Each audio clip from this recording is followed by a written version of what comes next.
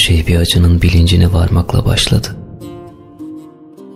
Bir taşı kaldırıp bakmakla, bir kapıyı açmakla. Bir el hep bir şeyler yazdı biz doğduktan bu yana. Şimdi bütün yaşadıklarım karalama kağıtlarında kaldı. Bir kalem kendi kendine yazar bu şiiri. İnsanlar işlerine gider. Ben acıya giderim. Bir günde bütün İsa'larımı çarmıha gerer ve her günümü milat bilip yekinirim. Güzelliğim ağlayan bir çocuğun güzelliğidir. Mutluluğum örneğin hapisteki bir adamın eline bir gül geçtiğindeki mutluluğuna benzer. Her şey beni saran bu dünyadan bir yangın çıkmasıyla başladı. Kaçıracak bir şeylerim olup olmadığını düşündüm. Kitapların çoğunu okumuştum. Ve ellerim bütün şiirleri bir çırpıda yakmaya hazırdı.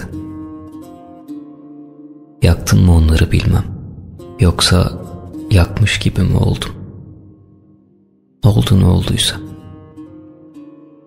Her şey üstüme örttüğüm gökyüzünden oluk oluk bir yağmurun boşanmasıyla başladı. Yağdı ayak izlerimin üstüne. Yağdı naftalinleyip yüreğime sokuşturduğum anıların üstüne. Unuttum mu onları bilmem. Yoksa unutmuş gibi mi oldum? Oldu ne olduysa. Acı ağır bir katran gibi yayılınca bedenime, yüreğime binlerce uçurum eklenir artık. Geriye dönüp de bakmak gelir içimden.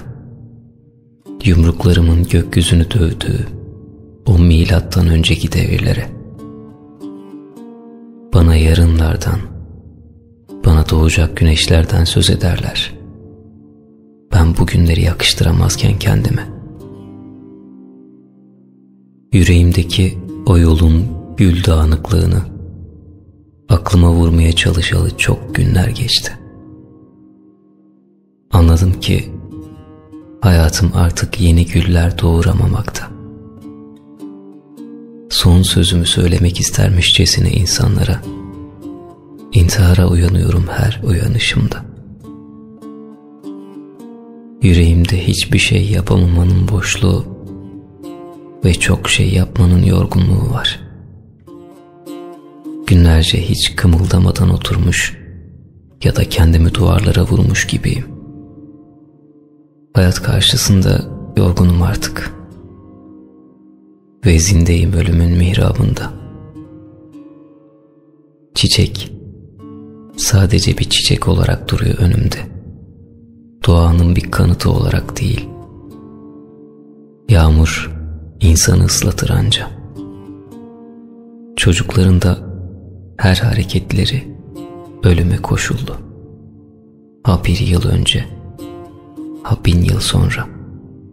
Kaç yıl var ki kendimi çiçeklerle, yağmurlarla, çocuklarla avuttum. Hayat deyince yeni doğmuş bir bebeğin o ilk çığlığı geliyor kulaklarıma onun yaşayacağı acılar sonra. Aklım bir çağlayanın en devingen yerine benziyor. Hiçbir düşünceyi yakalayamıyorum köpürüp taşan sözcüklerimle. Beynimi o çağlayanın en dik yerinden fırlatıp atmak mı düşüyor şimdi bana? Ne aradığımı bilmeden bir şeyler arıyorum şurada burada. Yok artık ne bir duygu, ne de bir istek. Bedenimin her hücresi sağırlıklarla dolu. Hoşça kal diyorum şimdi. Gördüğüm her varlığa. Bütün uykularından uyanan benim bu dünyanın.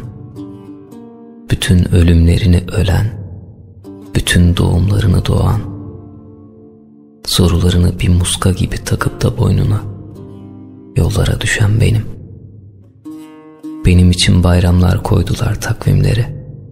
Benim için sokağa çıkma yasağı gecelere. Bir uçurumun önündeyim diyeceğim ama bir dağın doruğunda da olabilirim. Sonunda ikisi de aynı kapıya çıkıyor bence. Neden bilmem önümde bir uçurum açılacak gibi tetik durdum yürürken bile. Bir nesneye hep yangın öncesinde dokundum. Ve bir insanı ölümünden az önce tanıdığım çok olmuştur. Şimdi karalıyorum takvimdeki bütün rakamların üstünü. Sıfırdan ötesini aklım almıyor. Milat buysa eğer kendime bir çarmı ve beşik bulmam gerek. Ki her insan bir miladı yaşar bir yerde hayatının. Benim hayatımsa bütün milatların toplamı oldu. Bütün çarmıhları tüketti benim acılarım. Bütün İsa'larımı gözyaşlarım boğdu. Gözlerim kuruyuncaya dek ağlamak istiyorum. Ve sesim kısılıncaya dek bağırmak. Bana düşen bir yağmur damlası ırmağa dönüşüyor damarlarımda. Yüzümü yalayan yel fırtınaya, boraya ve artık sırtıma ağır geliyor yaşamak. Ve artık sırtıma ağır geliyor yaşamak. Yüzüm gözlerden, sesim kulaklardan, şiirlerim basılı kağıtlardan silinine dek kaçıp saklanmak istiyorum. Ve sonra bir gün çıkmak dünyaya, elimde bir ekmekle yollarda yürümek, çiçekleri sulamak, çocukları sevmek. Bağdaş kurup oturuyorum bir uçurumun derinliklerine. Elime kalem almadan şiirler yazıyorum. Ey sokaklarında nöbet tuttuğum kentler. Ey yüreğimde gitgide yaklaşan doğum. Adı veriyorum artık her nesneyi kendimce. Bayraksız ülkeler arıyorum şimdi atlaslarda. Mayınsız, tel örgüsüz sınırlarda at koşturuyorum. Dünyalar getiriyorlar bana. Birini seç diyorlar. Pazardan üç beş kavun alıp getirircesine. Herkesin dünyasından silah sesleri geliyor. Bütün dünyaları dolaşsam mezarlıktan başka bir şey göremeyeceğimi biliyorum. Yazıtlarındaki sözler değişikse de ne çıkar? Ölüm her yerde aynı ölüm. Ve her yerde benim sırtım yanıyor tabutları omuzlamaktan. Oturup ağıtlar yazmakta bir şeye yaramıyor.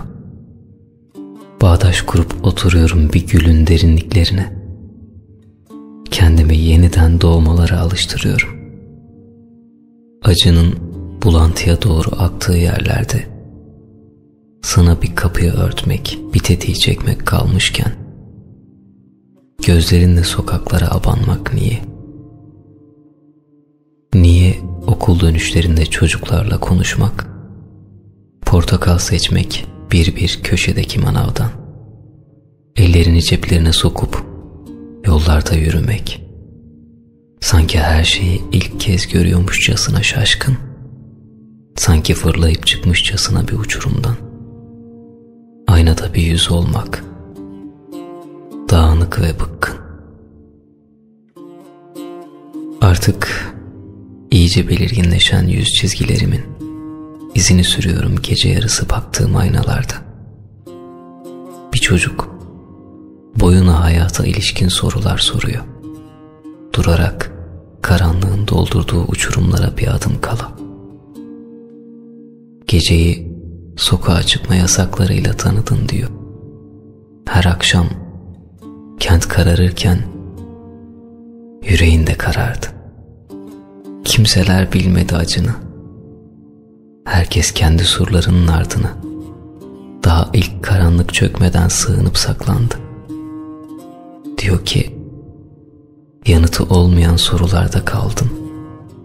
Uzun, upuzun bir yolda yürüyen birinin dönüp de ardına baktığı o yerdesin şimdi.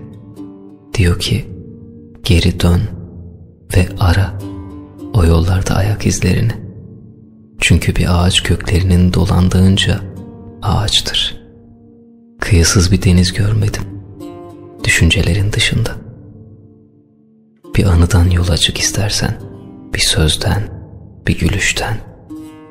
Çünkü bir insan sorularıyla insandır ve onlara bulduğu yanıtlarıyla. Bu kez biraz uzun sürdü bu keder. İçime ağır bir taş gibi takılıp kaldı. Acı takunyalar giyerek yürüdü yüreğimde. Sevincinse tüyden ayakları vardı. Ve sorularım ne çoktu benim. Ellerim her taşın altını kuşkuyla aralardı. İnanmaz olurdum kimi göğün mavi, yaprağın yeşil olduğuna. Gözlerim her renkte saklı bir karayı aradı. Bu kez biraz uzun sürdü bu keder. Kollarımı iki yana açıp dans etmek istiyorum. Mutlu olmak istiyorum. Ey kuşlar, ey çiçekler. Ve her şey Akdeniz'in bilincine varmakla başladı. Atlaslar açıp bakmadım. Turistik rehberlerden de söz etmeyeceğim size. Bu bir yitik cennetin özlemi ise Akdeniz'in günümüzde bir cenneti çağrıştırmayacağı bilinir. Her şeyin anamalcı bir düzenin çarkına koşulduğu bir dünyada gözlerimi ellerimle kapatıp bir Akdeniz görüntüsü çizmiyorum duvarlara. Bugün insan Akdeniz'e gidince ırzına geçilmiş bir kadının karşısında duyduğu o kederi duyabiliyor ancak. Yine de her şey Akdeniz'in bilincine varmakla başladı. Akdeniz'de ben kendi geçmişim ve geleceğimle birlikte bütün insanlığın geçmişini ve geleceğini buldum. Dokunduğum şu taş, üzerinde bir takım anlamadığım dillerden sözleri taşıyan bu yazıt, benden önce vardı, benden sonra da var olacak. Doğayı yitirdik belki ama bir Akdeniz çocuğu her şey akar diye sesleniyor hala. İnsanlığın bütün değerleri kendini koruyor. Onca olumsuzluğa ve zorbalığa karşın. Dünyanın bir çekirdeği varsa bu Akdeniz olmalı. Bu dünyadaki bütün ilklerin serpilip geliştiği yerdir Akdeniz. İnsanın kendini ve evreni sorguladığı bir bilinç alanıdır. Herkesin bir Akdeniz'i vardır. Giderek bütün dünya milyonlarca küçük küçük Akdeniz'in bir araya gelip toplaştığı yerdir. İnsanın kendi varlığının bilincine varması böyle başlar.'' yalnızlığımın bilincine varıyorum. Ama bu yalnızlık duygusu beni insanlardan ayırmıyor. Tam tersine insanlara açılabilmemin tek koşulu yalnızlığımdır benim. Uyumu Akdeniz'de buldum. Bütün insanlığın çocukluğuna kavuştuğu bu yerde. Ve milat diye bir şey varsa şu dünyada bu sözlerin dudaklarımdan kaydığı an milat olmalı.'' Benim miladım Akdeniz'e dönmektir. Bu dönüşün ötesine uzanan bütün yaşayacaklarım artık milattan sonraki tarihlerle anılacak. Akdeniz'e dönüyorum. Güz kuşlarının kanat vuruşlarına adımlarımı ayarlayarak. Akdeniz'e dönüyorum. Dumanlı bir kentin irin püskürten bacalarını yüreğimden kazıyarak.'' Yıllar yılı karanlık, nemli odalarda yaşadım. Her sabah yüreğime yeni bir uçurum eklemenin kederiyle bir göçmen kuştum ki ben güneyi hiç bulamadım. Uçmak istesem yasakların surları dururdu önümde. Sokaklar bir yara gibi yüründükçe kanardı. Donup kalırdı sesim. O buzdan yüreklere vurdukça. Her ana ağıt yakmak için dudaklarını aralık tutardı. Aklım en güzel duyguların kıyısında durdukça. Ve işte kendi içimde yürümeyi öğrendim şimdi. Bitmek bilmeyen sokağa çıkma yasaklarında anladım ki artık herkes bayraksız bir ülkeydi. Beyinler tel örgülerle çevriliydi. Yürekler mayınlarla. Yakılan kitapların dumanları tüterdi bacalardan. Ben yanan her sözcüğe tek tek gözyaşı döktüm. Yeni dünyalar aradım hayatıma. Çıkarak atlaslardan. Böyle başladı kendi içimdeki o uzun yürüyüşüm. Denizsiz bir gemiydim sanki. Topraksız bir çiçek. Köklerinden kopmuş bir ağaç dinilirdi önümde. Şiirler yazdım. Yazan elim, söyleyen dilim titrek. Her şiir yatsıdı kendini. Yaslanarak bir başka şiire. Turuncu bir sokağın aklımı tozutup atması böyle başladı. Sıçrayıp gitti bir çocuk. Yalın ayak, dikenlerin arasında. Bahçesi güne bakanlı bir ev. Taşlık, incir ağacı. El çırpıştırıp titreyerek akan sular vardı arklarda. Baba bir dilim portakalla köpük köpük şaraplar içer. Ana tulumbanın önündeki yalakta çamaşırlar yıkardı. Çocuk yüzünü bir kitabın sıcacık koynuna gömer. Uzak ülkeler ve kızlar üzerine düşler kurardı. Her sokağın bittiği yerde bir limonluk başlar. Her limonluğun ardında bir dilim deniz görünürdü. Şafakta, rıhtımda bir sürü ceviz kabuğu sandal, denizin enginlerine yaşlı balıkçıları götürürdü. Geceleri ay bir ekmek gibi büyürdü gökyüzünde. Kavrulmuş susam ve yeni biçilmiş buğday kokardı. Yıldızlar gümüş sürerlerdi denizin tenini. Her yakamozun parladığı yerde bir deniz kızı oynardı. Böyle bir dünyaydı işte. Anlatılır mı bilmem. İnsan her dönüşünde bulur mu eski ayak izlerini? Yağan yağmurlar mı? Yoksa kendi midir onları silen? Dönmek istiyorum ben. Dupduru bir su, el değmemiş bir toprağım şimdi. Akdeniz'e dönüyorum. Anamın rahmine yeniden, yeniden döner gibi.''